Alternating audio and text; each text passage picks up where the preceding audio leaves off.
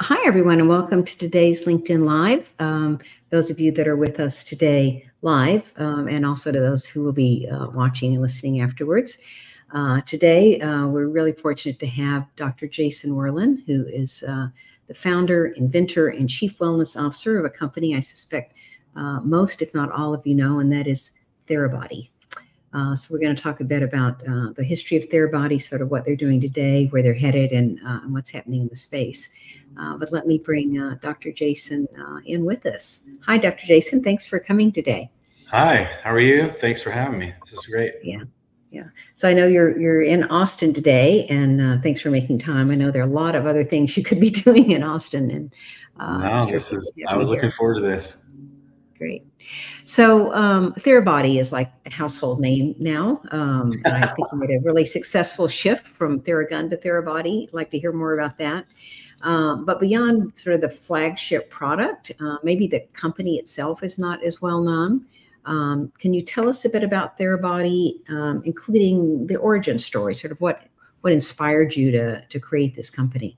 Yeah, well, I laugh when you say Therabody is a household name because as a as a um, I have some landscapers coming through. Sorry about that. As a as a founder, when you're creating something, that someone will actually say that, you know, that it's a household name. It's it's it never gets old hearing that. Um, so I'm a I'm a chiropractor. I was in in Los Angeles at the time in 2007. Let's go way back to 2007. Um, and I was uh, just finishing some of my schooling, and I had to go from I had a practice that I'd opened in 2006, and so I was going from my practice to my home to school, and I was mm-hmm. just doing this sort of loop in Los Angeles, and I decided to buy a motorcycle.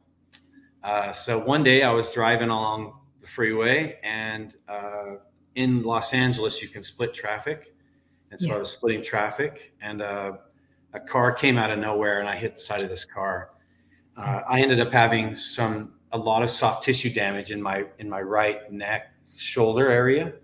Um, and up to that point, I'd never really been a patient, so I hadn't really experienced mm-hmm. this. You know what you do when these things happen. As a chiropractor, I was always the on the other side of it, so or at least my perspective. So uh, that injury is what sort of caused a lot of this because the, as as a chiropractor, I knew what I needed, but I wasn't able to get it, give it to myself. And yeah. and the only other options you had were surgery or medication.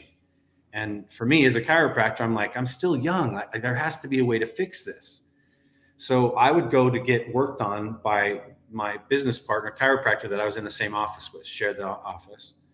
And um, that that whole thing just didn't fit well with me. I kept thinking I got to get up in the morning. I'm in so much pain that I got to go see him who loves me and I love him. Like we're great friends. I know he wants me to get better, but I got to drive all the way into his office. This whole thing was like, what?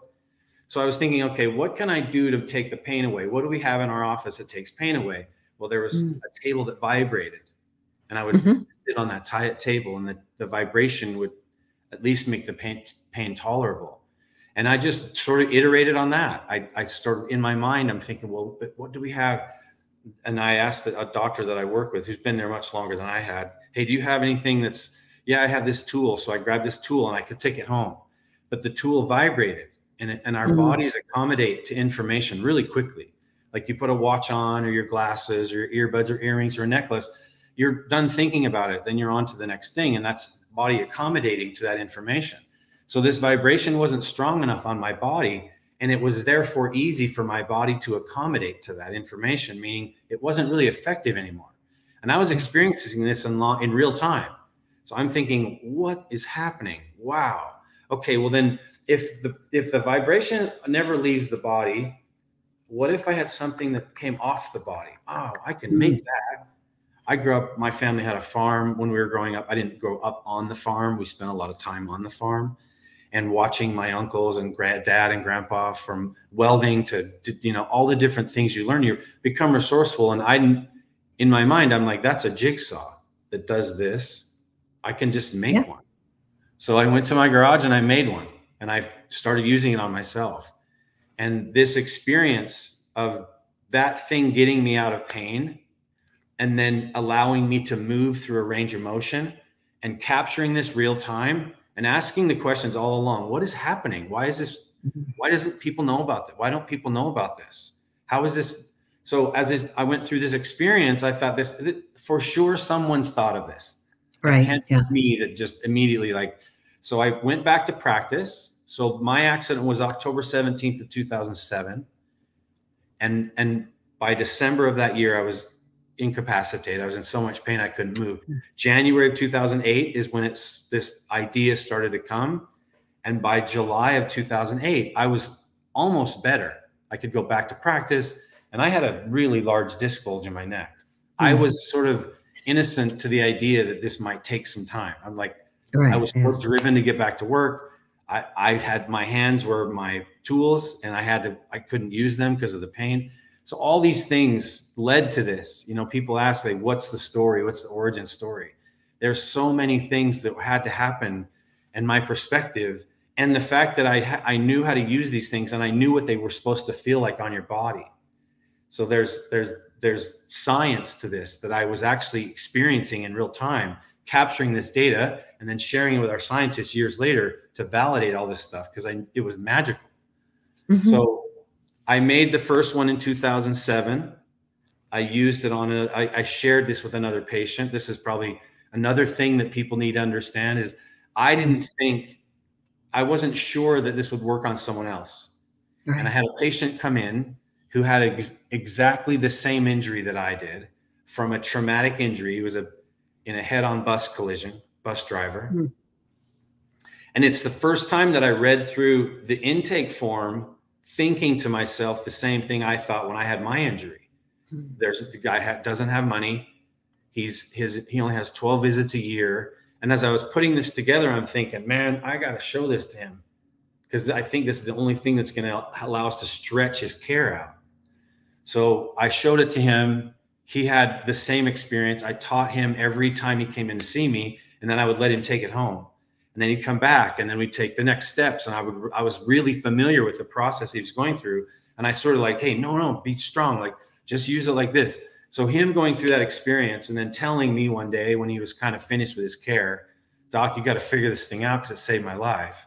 Like mm-hmm. that experience was like okay guess what? I, I got to figure this out so the next eight years i made five different versions figuring this out like from the amplitude to the technique the how the frequency, like how many times it could touch your mm-hmm. body in a second without it overdoing it on the nervous system. So all of these things I started learning in those eight years. I went through two business partners, horrible experiences. Mm. Uh, and I met my business partner, who still is my business partner now, in 2015. Um, and I like to say he was like the the third leg of this really cool stool that we were building. You know, it was my experience of pain and then my my my just drive to make this thing figure it out. And then having someone like ben come in that really helped the business and really be sturdy up everything so we grow like a business.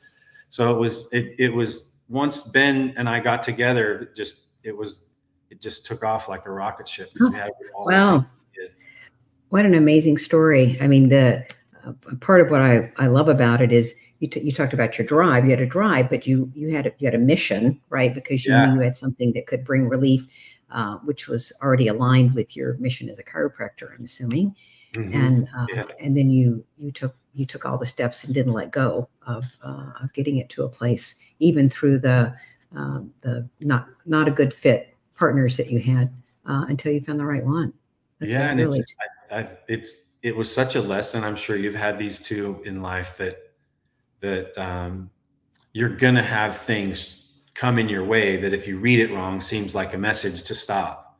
Yes. yeah it's like a hurdle. You know what i mean? I'm sure you know that. So and that doesn't it's not easy because every time it's not easy.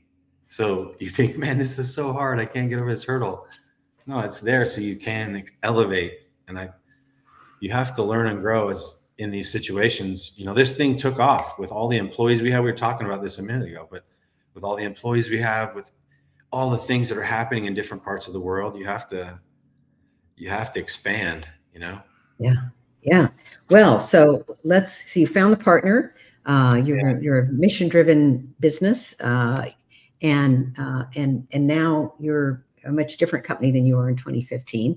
Um, talk a little bit about the company you are today. Yeah, you mentioned a minute ago we went from Theragun when I, when when Ben and I got mm-hmm. together it was Theragun, and then we realized later, you know, that this is bigger than Theragun. Like this is actually something larger than that, and it was his experience seeing sort of his friends being introduced to something they'd never seen before, and then my experience growing around the world with the different physios and chiros and, and mm body workers that I know and just seeing like, whoa, this is actually way bigger than that. And that's where Therabody sort of evolved from because we're thinking, well, what we're doing is for everybody, everybody, all every well, and suddenly this, and it kind of happened. Is there's such a really cool story about that. So we moved it, we evolved into Therabody through this experience, and and it was sort of like you build it, they will come. There was so many of these pockets of um, modalities that were it was tough to fund if you're not in the medical world you know both feet. It's tough tough to mm. man and navigate that. So some of these people were friends of mine and we started you know talking about hey what if and suddenly now you know we acquired uh, the recovery boots. We call them recovery air. Um, mm-hmm. the, and then then after, shortly after that there was another acquisition opportunity and then we were also expanding some of our product lines and it suddenly made sense why we were therabody and and for me the the the interesting thing that I, I think people probably don't know is this started with people in a in my chiropractic practice this didn't start with athletes. And the the drive and the mission started with getting people out of pain. That's really where it started. And it spilled into these athletes in like 2011 12 and they started seeing the benefits it does for them because they're so keen on the changes to their bodies so they just bam, okay, now it's in the Olympics and pro athletes, it's everywhere. And so people saw started seeing this as a professional athlete's product, where the origins actually are pain. It didn't make yeah. me run faster, jump higher, you know what I mean? So that this idea of therabody is people will start to understand it. It's our job to make make sure in the marketing and everything that they get this, but that's really what it's about. It's getting people out of pain. And the older you get, I'm 54, you you the the the pain changes and it's bigger and it's weirder and you have to be able to learn how to treat these things and going to a medical doctor is just not feasible in today's life. So being able to have something for you to use on yourself, that's really our purpose. And and like the drive behind that was keeping something quiet and and that looked technologically sound and it would it looked nice on a coffee table and it could sit on the kitchen table and it would fit in. So there were so many things like that that led us down our path of being able to integrate it into people's lives so they can have the benefit all the time, you know? Yeah, not just when you're, as you say, driving to the chiropractor to see your physician. Yeah. Um, talk about the what's the company today? How um, how many employees do you have? Are you global? Uh, what's, what's the size of revenue? Uh, we've got um, a, just under 300 employees. Mm-hmm. Uh, we have an office in London. Uh, we have an office in Shanghai. Our, our, engineers and our some of the tech guys are in Shanghai. People would be surprised what comes out of that city and that country as far as that goes. Um, we, and then we have employees in Australia, um, scattered throughout Europe. Um, the company itself is focusing on sleep. Um, you know, you think about a Theragun and how does that connect? And that was actually one of the first studies we did. Is it it is talked about how this actually turns off your nervous system, so mm-hmm. you you can just calm. So you have a sympathetic parasympathetic. So we did that. So yeah. that's been a product. The the gog the, the smart goggles we have. It has a sleep um, setting to it that helps you fall asleep. And I can't tell you how many people just oh my god, I swear by those goggles. I wear those every night. So it, our, that's one of our focuses is really getting the information out to people about sleep, and that's worldwide. Um, we just launched a really fun campaign that I hope people will see on TV, uh, where it shows, for example, a grandpa playing horsey with his grandkids, and it says, if your workout looks like this, and then it switches to him using a Theragun on his shoulders by himself, and it says your recovery should look like this. So we're trying to match these experiences with people to, to, to recognize like you shouldn't be in pain.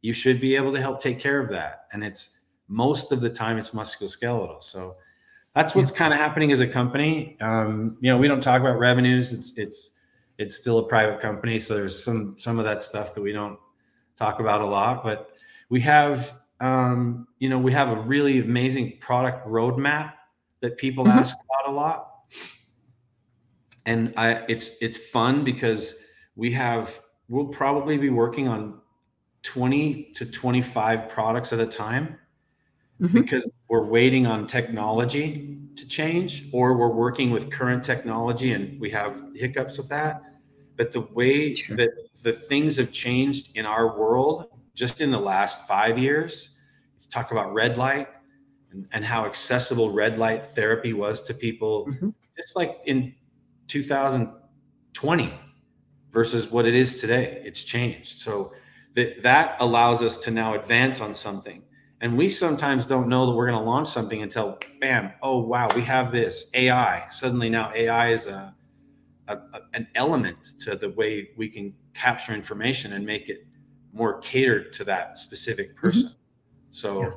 it's it's uh we're always growing. I our our my goal is that we have, you know, a Theragun in every house. It's, and I've said that a lot of times, and and I I that I think it's a worthy goal because it it a lot it makes us change the way we do things to get into certain world parts of the world, and it allows our message to resonate as well. Yeah.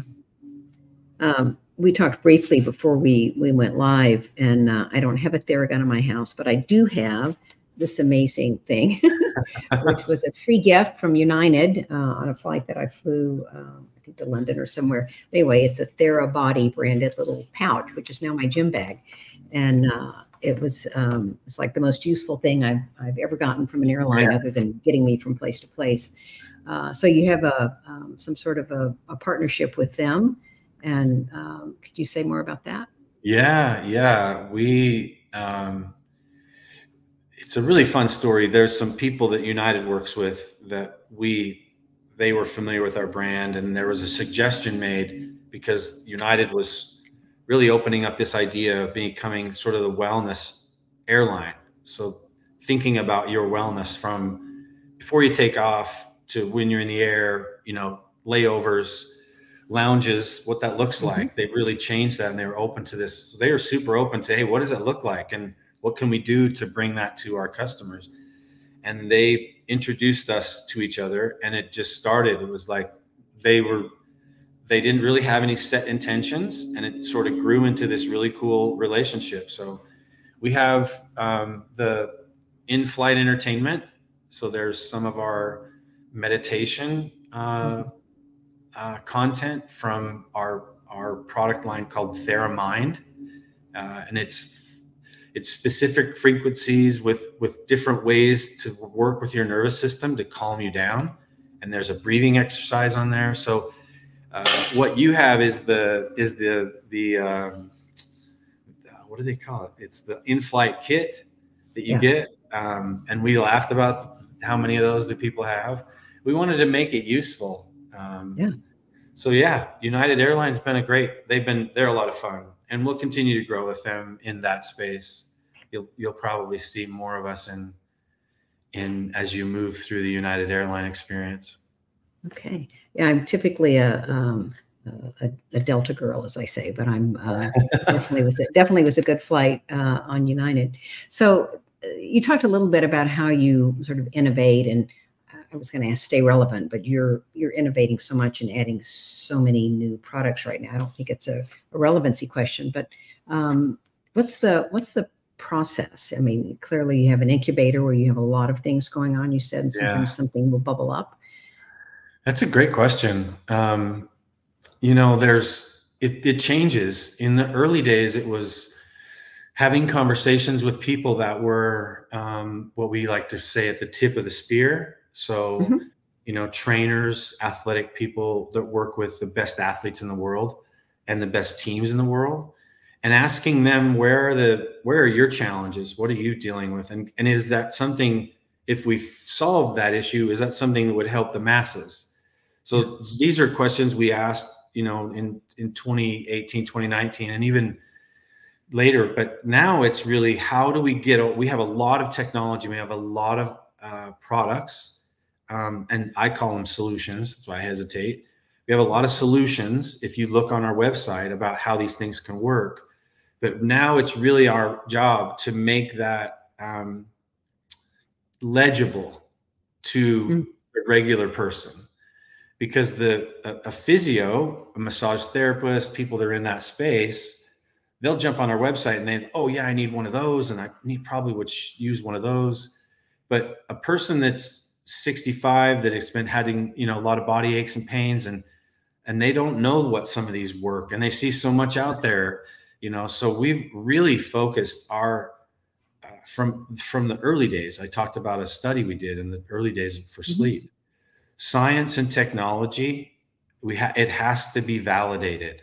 So if it's not scientifically proven we're not going to launch it. We have a lot of ideas that people come in with and you know i can't tell you how many people see me on the street you know what i would do if i were you hey have you thought of this and it it we it we have a ton of ideas. Which is interesting because that's how your idea came about, right? That's right. how Theragun came about. Yeah. Yeah. It's and so I'm always open to that. I want to hear. You know, people are asking me, "Have you thought of this?" And I said, "Yes." You know what? I have thought of this. Take my number down, and if you think of a really good solution, I would love to hear it. I'll work with you on it. We've added uh, some other people that aren't part of our company to our patents because of that type of situation. Friends of mine that thought of something, brought it to us. It originated with them, so we want them to be a part of that. So that's and you ask like what sort of drives it? Well, what right now what's driving us is we know what we have and we know other people that know what we have. We just need to get that out into the world so people understand that this is actually for musculoskeletal pains and aches. It, and we all have that. It's not just the athletes that experience that. From a technology standpoint, you mentioned, excuse me, AI in terms of being able to parse data. You mentioned red light. Um, are there other technologies that you see that are uh, going to play in the future of physical therapy and wellness? Uh, you know, I think the the data collection is. Mm-hmm. I feel like that's really where things are going to continue to focus because as we've learned with AI, that's why AI is so powerful is everything is so different. And and the access that you have to say an injury um, I was with some some really smart kids in Ghana who were in a techno tech school and they'd come up with this idea of an app that could match AI with an injury so if you sprained an ankle, you could basically take a picture, send it in, and this AI would match, and then you would get a solution back. What's the best thing to do? Mm-hmm. So I mean, that's that kind of thing is what drives a lot of this, in my opinion. Um, and it's it's not just the AI; it's being able to gather information, breath work. What's your heart mm-hmm. rate? You know, yours, not mine, not not average. Like, what's your heart rate throughout the day? Like those are things that we, if we captured that, then we would really, it'd be a lot easier for us to kind of get in our body. So much of us are stuck in our head. And that's really another goal is to like get in your body and feel what's going on. So if you're kind of know, oh, I'm listening to my heartbeat, oh, there, and then you're in your body because you're recognizing your heart rate because you know how important that is. Those are like little, you know, integrated messages that we have in our products. Mm-hmm. These are conversations we have when you ask about what helps us make these decisions. So it's it, it Tim, who who is our science um, and innovation director. He love his his main goal is to integrate everything into people's lives. It's behavior mm-hmm. change, and how can we make that happen in a positive way? So yeah. there's it's a it's a oh, I'm just realizing I'm on this on this I'm on my I'm on a stool. You're letting me preach. I get so excited about this. It there's so much possibility to help people not being to to you know have less pain. Yeah. Well, and people are having, um, at least I think people that are going to be listening and seeing this they're having more and more experiences of, uh, gathering data and getting the feedback and having it help them. I'm, i have my Oura ring, right? We yeah. many people have their their Apple Watch um, or you know whatever your Garmin, whatever it is that you you choose to wear, but just ways to get feedback about what's going on in our bodies so that so we can make behavior changes and see what happens. So um, I'd say that the market is primed for all these things. Um, speaking of primed market, I want to talk a little bit about um, the corporate wellness market uh, because that's mm-hmm. a booming, right? I, I, saw numbers like 56 uh, billion dollar market today, expected to reach about 100 billion by 2032. Um, are you um, focused on uh, corporate or enterprise sales as well as individual? Yeah, we actually have a corporate sales um, group in our company, uh, and they are really cool to let me in sometimes. um, but we look at corporate wellness as physical and mental uh, mm-hmm. uh, experiences in the office. And what I'm seeing is companies, large companies, are now, before it was, okay, what open space, not metaphorically, but before it was kind of like meaning just a few years ago, it was like, well, what what what empty space do we have? We can just put something in there. Mm-hmm. And and now they're recognizing, oh wow, and they're actually they're actually planning for space and they're putting budget towards these spaces. Yeah. So they're recognizing how important this is. Um, our lives are so much different than they were when it was the nine to five typical, you know. So we also are evolving in that space. What does it look like? What do they experience? How much education is there? Um, so we have a whole an entire team that is involved with that. We work with hotels, hospitality. We mm-hmm. do a, a, lot of things. I've, I've done some things with the Aman Hotel around mm-hmm. this kind of an idea. So yeah, it's it's a it's a it's an important aspect for sure. Yeah, I think the for me the whole impetus behind sort of the chief wellness officer and you being one, you can certainly educate me here, must be around how do you how do you create a culture that prevents the burnout that's really geared towards um, towards wellness, sort of getting in front of the problem, uh, prevention, um, in addition to sort of what we think about is the sort of the you know I'm I'm stressed out, I need to go meditate, um, you know, stuff. Yeah. Yeah, I mean, I look at it this way: you, you wellness is a practice so, mm-hmm. wellness are the practices that we do on a daily basis that measure up to our health. So, your health can be measured, right? Mm-hmm. So, if I, I can measure all sorts of things with your body, but the wellness is what needs to, your wellness practices are what needs to change. Mm-hmm. So, as chief wellness officer, I'm looking at this translation from inside our company. Tim and I have these conversations all the time about how can we prove what we see? And mm. it, can we use a cohort from our office that is that really we did this with Oura. We've done this with a lot of other companies. We're in the middle of this with with a large one right now that hopefully the results are good. But we take that information and as a wellness officer, I'm looking at that. Whoa, okay, how can I take that now and, and broadcast that to the world?